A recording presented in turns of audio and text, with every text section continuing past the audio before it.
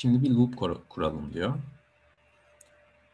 Output directory'yi checkpointlerimizi hani yazmak için olabilir. Önceki bir modelim varsa onu Linux'a remove diyorum.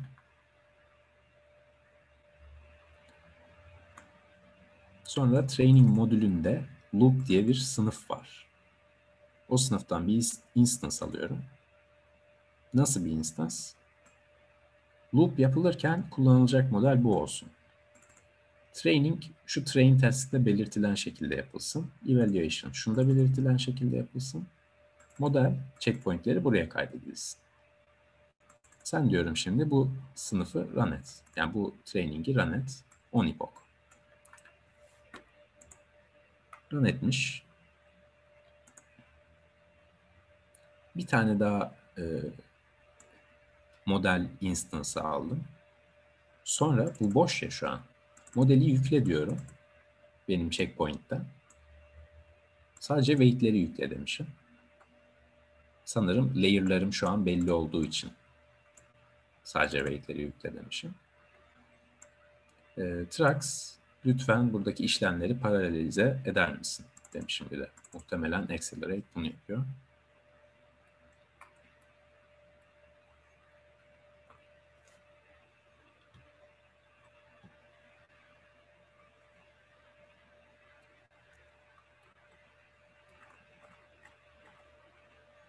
Şimdi modelin katman katman içi belli.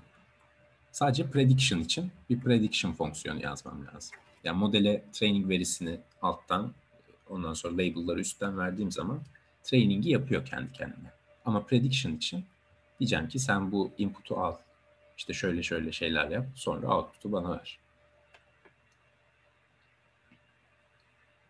Kaç token var? Onu bir buluyorum. Hmm, burada bir şey söylemişim. Burada şeyi sevmemişim. NMT attention diye bir fonksiyon tanımlamıştık ya üstte. Aynı adla bir parametre yazmış. Demişim ki bunu da karıştırmayalım o üstteki fonksiyonu. Bu argümanı yeniden adlandıralım. My NMT model olsun bunun adı. Bu adı kullanmayalım diyorum. Tamam Benim modelim bunun içine konuluyor yani.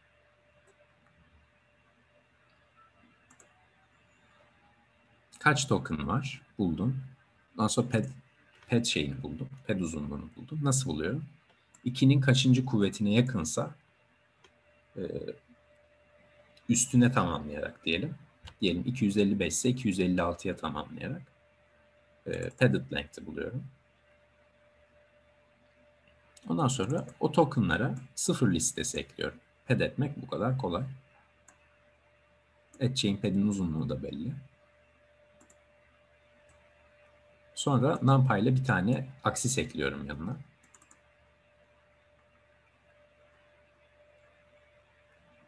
Benim modelimin içine inputları at. Edit with batch. Bunlar zaten inputları içermiyor mu? Ha yok bunlar outputlar. Yani şu an çeviri yapıyorum ya. Diyelim İngilizceden Almanca yapıyorum. Şu an olan Almanca kelimeler ve tüm İngilizce kelimeler. Modele verdim. Mesela bakın burada işte teacher force burada devreye giriyor. Ee, evaluation e, şey şu an modelde inference yaptığım için, training yapmadığım için direkt benim kendi tahmin ettiğim Almanca kelimeleri alacağım. Teacher Force'da gerçeğini alacaktık. Label'ları alacaktık. Probability'leri aldım. Sample ettim. Ee, bir sonraki token'ı bulmuş oldum. Loft Softmax yöntemiyle sample ediyormuş. Yani buradaki greedy decoding'e benziyor aslında buradaki yöntem.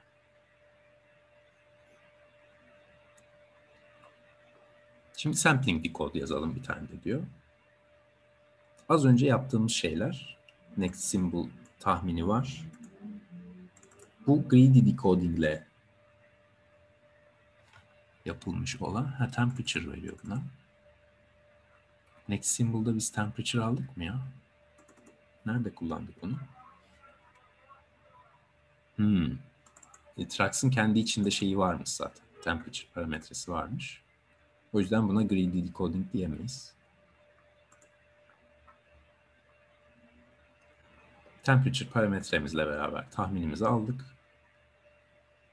Output tokenleri append edip geri döndürüyoruz. Sonra bunu kullanabiliriz artık. İngilizce bir cümle veriyorum. Modelimi veriyorum. Nasıl decode etsin? Nasıl bir temperature'la decode etsin? Onu veriyorum. Ve bana çeviriyi veriyor. Temperature 0. Doğru bir çeviri verme ihtimali yüksek. Ama özgün bir çeviri verme ihtimali düşük.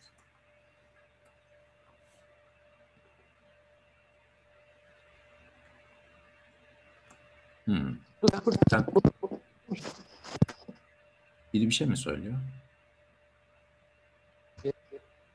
Diyor ki temperature eklesek de bu greedy decoding diyor. Şu fonksiyon içeride nasıl implement edilmiş tam bilmiyorum. Ee, ama yine hani en yüksek ihtimalliyi direkt çekiyormuş. Sadece oraya biraz noise ekleyip en yüksek ihtimalliyi çekiyormuş. Biz diyor farklı sampling yöntemleri öğrendik. Onunla yapalım şimdi diyor. Greedy decode'u yaptık, bitirdik. Bir de minimum base risk yapalım diyor. Öyle sample edelim. Nasıl yapıyorduk? Birkaç örnek alacağım. Her birini birbiriyle kıyaslayacağım ve diğerlerine ortalama olarak en benzer olan cümleyi alacağım. Cümle kaç sample üretilsin? Modelim temperature. Kaç sample üretilsin? O kadar decode yap. Bir sample üret.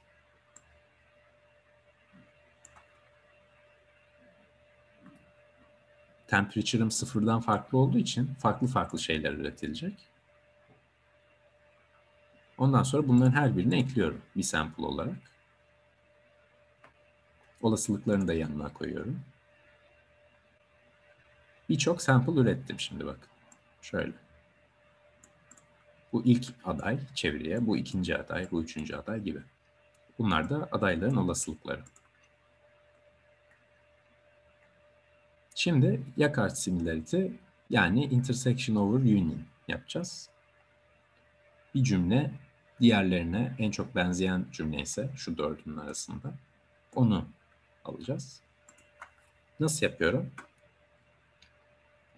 Diyelim ilk cümleyi aldım. Sonra ikinci cümleyi aldım. Buradaki reference şey değil. Ground truth değil. Karıştırmayalım. Ee, ilk cümle ve ikinci cümlenin kelime setlerini aldım. Aralarında ortak kelimeler nedir? Intersection'la buldum. Union'la e, birleşim kümesinde buldum. Bundan sonra kaç kesişim elemanı var? Kaç birleşim elemanı var? Böldüm. Bu kadar overlap var. Skorumuz bu. Tüm diğer cümlelere bu skoru en fazla olan cümleyi seçeceğim. Bu mesela alttakilerin hepsine benziyorsa bunu seçeceğim gibi. Ama yok. Şu üçüncüsü diğerlerine daha çok benziyorsa onu seçeceğim. Mesela şöyle iki cümle var. Bir token'ı, iki token'ı, üç token'ı. Mantıksız bir cümle ama bu cümleyle olan similarity'sini hesaplayabiliyorum. Bir de diyor evaluation için Rujvan similarity'yi kodlayalım. Nasıl yapıyorduk? Precision'ı bulacağız, recall'u bulacağız. Ondan sonra e, harmonik ortalamayı alıp 2 ile çarpacağız. Burada işte şeyi varsayabilirsiniz. Hani referans burada ground truth'lar. Evaluation için. Prediction ve e, ground truth arası e, cümlelerinin kelimelerini sayalım. Bir dictionary'de dönelim. Sonra o dictionary'deki her kelime için kelime kaç kez söylenmiş onu bulalım. Kelime kaç kez söylenmiş onu bulalım. Minimumunu alalım. Overlap bu. Bu kelime için. Tüm kelimeler için olan overlap'leri aggregate edelim. Sonra e, tahmin cümlemin içinde toplam kaç kelime varsa ona böleyim kesişim kümesini. Kesişim kümesi bölü tahmin cümlesinde kaç kelime var. Bu precision. Kesişim kümesi bölü gerçek cümlede kaç değer var, e, kaç kelime var. O da recall. Toplamları sıfırdan büyükse o zaman şöyle bir harmonik ortalama çarpı 2 yapabiliriz. Bu da tamam.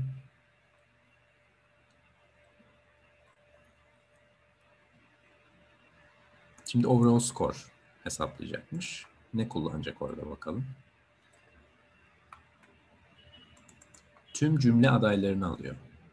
Atıyorum 30 tane cümle adayı bulduk. Hangisi en çok benzerse onu seçeceğim. Enumerate etmiş. Yani e, sıfırıncı cümle cümlenin kendisi. Birinci cümle cümlenin kendisi gibi şey yapacak bunları yan yana. Overlap'i sıfır başlatmış. Her bir cümle için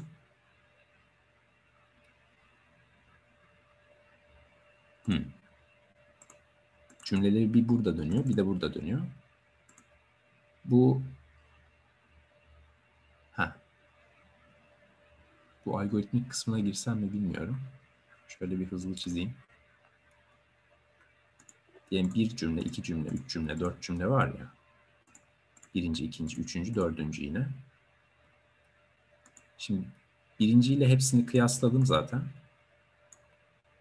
3 ve 4. Bir daha şeye bakmama gerek yok. İkinci birinciye ne kadar benziyor diye bakmama gerek yok.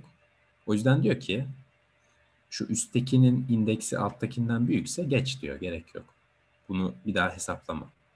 Computational complexity düşürmek için yani. Eğer bunu yapmasaydı cümle sayımın karesi kadar e, karşılaştırma yapıyor olacaktık. Burada onu geç diyor işte. Ondan sonra geçmediyse benzerliğini hesaplıyor.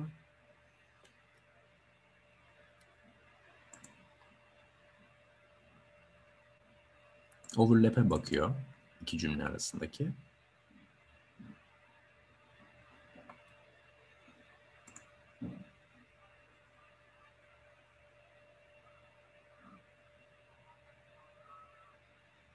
Overlap'i index sample'a bölüyor. Index sample get score candidate computing the average. Ha, kaçıncı şeydeysem, kaç cümle denediysem şu an. Mesela birinci cümle için tüm cümlelere bakacağım ya. Dört tane cümlem var toplam diyelim. Şurada dört deneme yaptım. Index dört olarak döngüden çıktım. Dört cümle denemiş olduğumu bilgisi burada saklı yani. Averaj alırken o yüzden burada kaç cümle kullanmış olduğumu yazıyorum. Average aldım.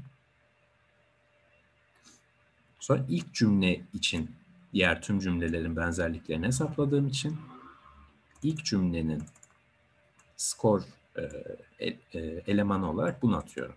Sonra ikinci cümlenin diğer tümüyle benzerliklerine bakılıp onun da ataması yapılacak. Mesela ilkinin skoru buymuş, ikincinin skoru buymuş. Minimum base risk skorları bunlar. Üçüncünün skoru buymuş. O yüzden birinci e, bir numaralı dediğimiz ikinci eleman olan cümleyi seçeceğim. Ama diyor practice'te sen şu weight'leri, weight'ler mi vardı burada? Direkt average almazsın da bir weighted average alırsın.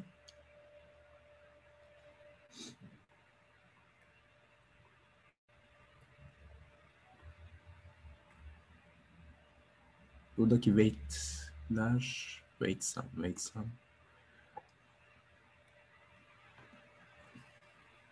Valla tam neye göre yapıyor bilmiyorum şu an. Çok zaman geçmesin diye burayı geçeceğim. Hemen bulamazsam.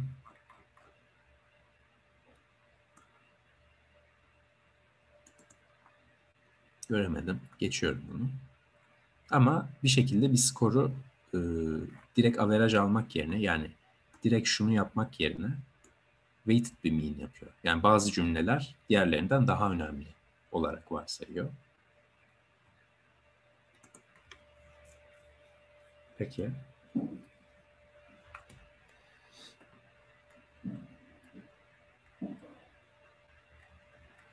Şimdi bir de decode yazdırıyoruz. Bunu neden yazdırıyormuşuz? Returns translated sentence ha, with minimum base risk. Az önce e, greedy decoding yapıyorduk fark ettiyseniz. Şimdi minimum base riskle tahminleme yapan bir fonksiyon yazıyorum. Fonksiyon hani model objesini içine alıyor modelden bağımsız. Şey güzel mesela bu assignment'ta modeli ayrı yazıyorum. E, sampling yöntemini ayrı yazıyor. Onu çok güzel ayırmışlar. Tamam. Modeli bir kere yazmıştım, eğitmiştim falan.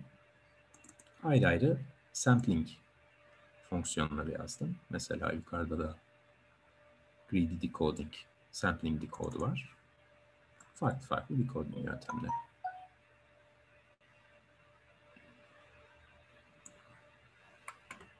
Ahmetciğim benim ayrılmam gerekiyor. Hı hı. Çok teşekkür ederim. Ağzına sağlık. Çok güzel bir eğitimdi.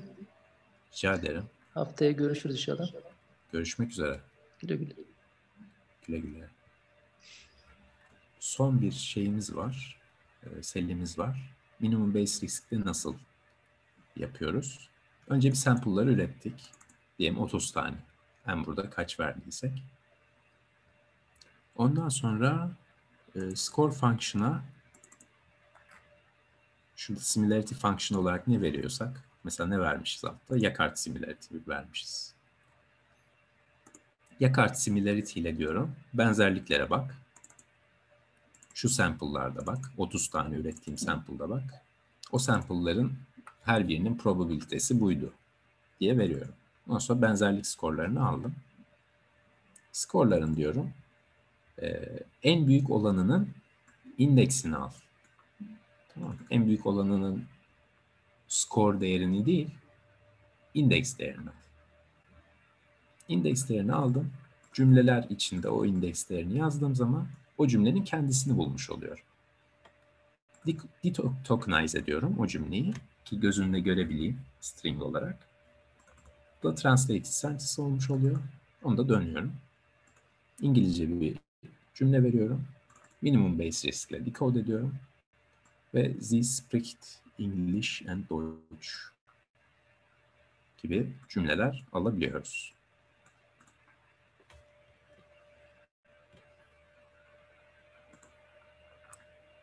Contents kısmına gelip soru alabilirim. Sorular varsa.